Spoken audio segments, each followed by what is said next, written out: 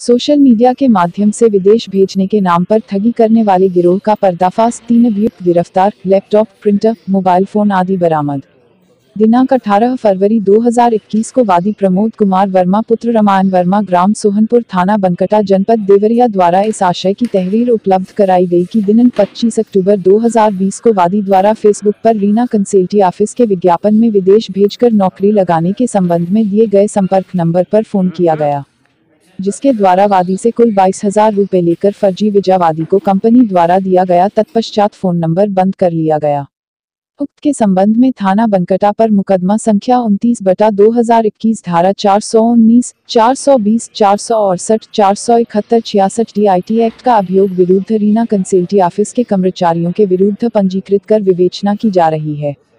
Police अधीक्षक देवरिया द्वारा उक्त ठगी करने वाले गिरोह के पर्दाफाश एवं अभियुक्तों की गिरफ्तारी हेतु प्रभारी साइबर सेल देवरिया एवं थानाध्यक्ष बनकटा को निर्देशित किया गया था, जिसके क्रम में आज दिन 25 फरवरी 2021 को प्रभारी साइबर सेल देवरिया व थानाध्यक्ष बनकटा की संयुक्त पुलिस टीम द्वारा अभियुक्तों की गिरफ्तारी हेतु क्षेत्र में भ्रमणशील थे की मुखबिर की सूचना पर अकटी बाज़ार से तीन व्यक्तियों को पकड़ा गया जिनके द्वारा अपना नाम पता अजित यादव, पुत्र शिवनारायण यादव ग्राम मोहम्मदपुर थाना, ब्रेसर जनपद गाजीपुर।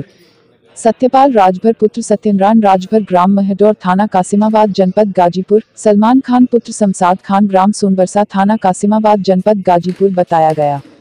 पकड़े गए व्यक्तियों के पास से दो अदद लैपटॉप, एक अदद स्कैनर मशीन, एक अदद मॉनिटर, चार अदद मोबाइल फ़ोन, एक अदद कार्ड रीडर, दो अदद माउस, एक अदद बायोमेट्रिक मशीन व चौदह सौ रूपए नकद बरामद किया गया।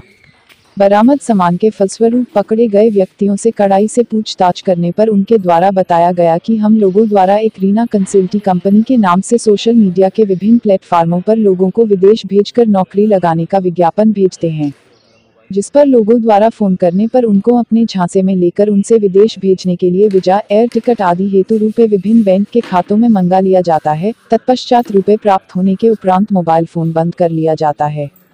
हम लोग एक जगह नहीं रहते हैं। घूम घूम कर विभिन्न स्थानों से ठगी का कार्य करते हैं। इसी प्रकार अभियुक्तों द्वारा वादी के साथ ठगी करने तथा फर्जी विजा उपलब्ध कराए जाने की घटना का इकबाल किया गया। साइबर टीम द्वारा बरामद लैपटॉप, मोबाइल फ़ोन की जाँच से उक्त गिरोह द्वारा और लोगों से ठगी किए जाने के संबंध में जाँच की जा रही है। पुलिस टीम द्वारा अभियुक्तों को गिरफ़्तार करते हुए नियमानुसार विधिक कार्यवाही की जा रही है।